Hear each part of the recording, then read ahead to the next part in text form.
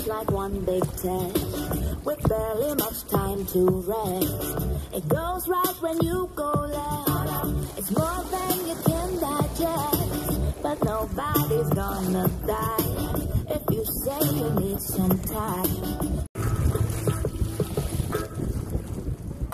What you pass?